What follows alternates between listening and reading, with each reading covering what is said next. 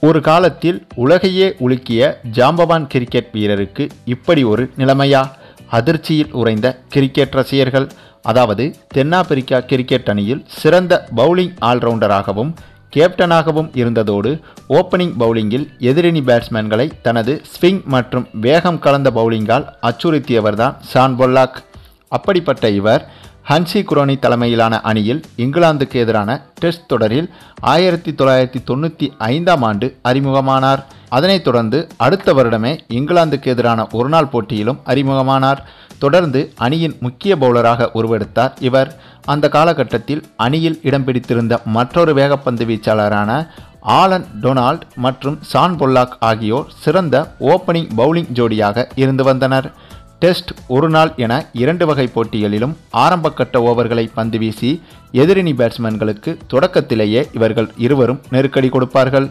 Mini உலகக்கோப்பை என்ற பெயரில் ஆயிரத்தி தொள்ளாயிரத்தி தொண்ணூற்றி எட்டாம் ஆண்டு நடைபெற்ற ஐசிசி தொடரை தென்னாப்பிரிக்கா வென்றதுதான் இதுவரை தென்னாப்பிரிக்கா வென்ற ஒரே ஒரு ஐசிசி கோப்பையாகும். ஹன்சி குரோனி தலைமையில் கோப்பையை வென்ற இந்த அணியில் முக்கிய வீரராக இருந்தவர்தான் சான் பொல்லாக்.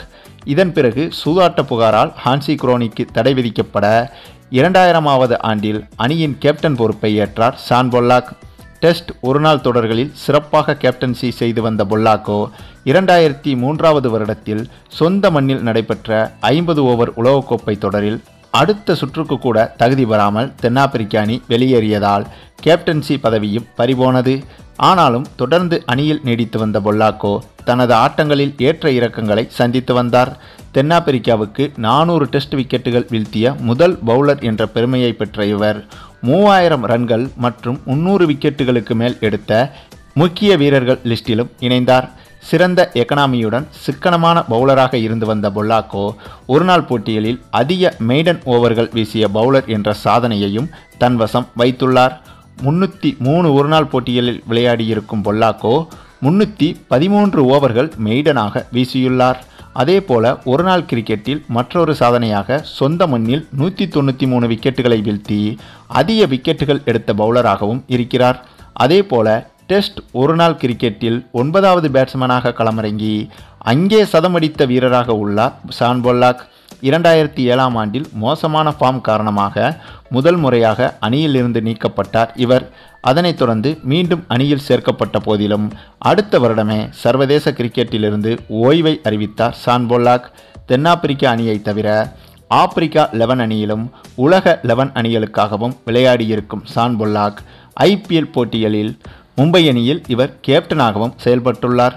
நூற்றி எட்டு டெஸ்ட் போட்டிகளில் மூவாயிரத்துக்கும் அதிகமான ரன்கள் நானூற்றி இருபத்தோரு விக்கெட்டுகள் அதே போல முன்னூற்றி மூன்று ஒருநாள் போட்டிகளில் மூவாயிரத்துக்கும் அதிகமான ரன்கள் முன்னூற்றி தொண்ணூற்றி மூணு விக்கெட்டுகள் என தென்னாப்பிரிக்க அணிக்காக சிறந்த பங்களிப்பை அளித்த வீரராகவும் இவர் இருந்து வருகிறார்.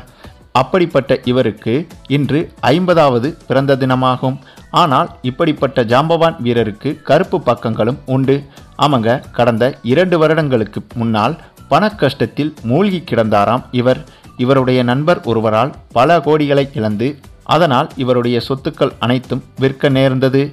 பின்னர் அந்த கஷ்டத்தில் இருந்து மீண்டு வர சில நாட்கள் ஒருவேளை உணவுக்கே இவரது குடும்பம் கஷ்டப்பட்டது என்றும் சொல்லப்படுகிறது. அவ்வளவு ஏன் ஆசிரமங்களிலிருந்து கிடைக்கும் உணவுகளை கூட உண்டு வாழ்ந்திருக்கிறாராம் சான்பொல்லாக். அதன் பிறகு கடந்த இரண்டு வருடமாகத்தான் இவர் மீண்டும் நல்ல நிலைமைக்கு திரும்பியிருக்கிறார் என்பதும் குறிப்பிடத்தக்கது. சரி நீங்க சொல்லுங்க. ஸ்டான் பொல்லாக்குடைய வாழ்க்கையில் ஏற்பட்ட இத்தகைய ஏற்ற இறக்கங்களை பற்றி நீங்கள் என்ன நினைக்கிறீங்கன்னு உங்களுடைய கருத்துக்களையும் கமெண்டில் தெரிவிங்க.